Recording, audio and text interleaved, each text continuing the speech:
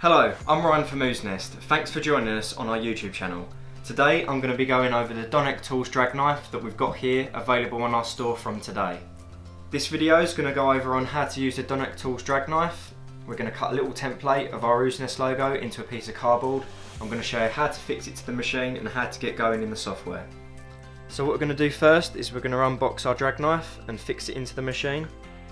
So as you can see it comes in a nice little wooden box. You get an Allen key, a spare blade and this is the main drag knife assembly. We're just going to take that out there. This is the D4 model. This is made to fit a quarter inch shank. So we're just going to put that into there. Fix that in place. We're now going to tighten it securely.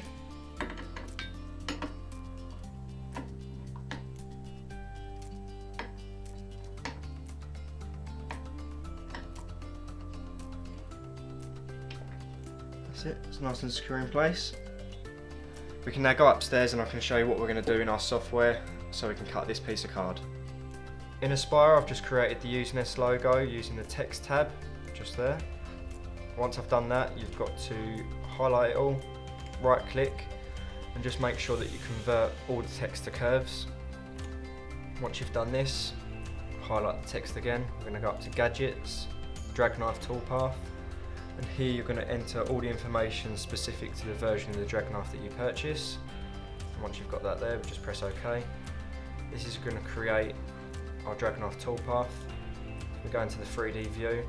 You can see here, that's what it's going to look like once we've cut it from the material.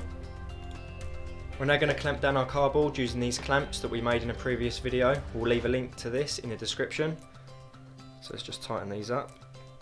I've just got to be tight enough just to hold our piece of cardboard in place. It's also worth noting that you want your spoiler board to be nice and level. We've also got a tutorial on how to do so, so this will also be in the description. Now we've got that nice and secure, we can run our toolpath using the drag knife.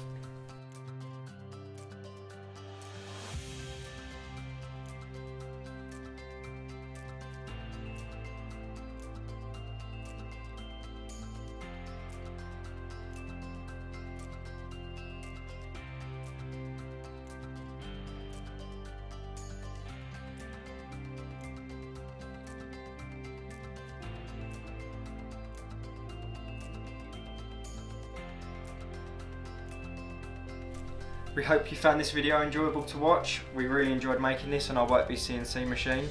This was our first time using the Donek drag knife and I think it came out pretty well.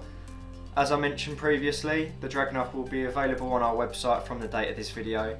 If you have any questions or ideas for future videos, please leave us a comment. Please like and subscribe to our YouTube channel to keep you posted.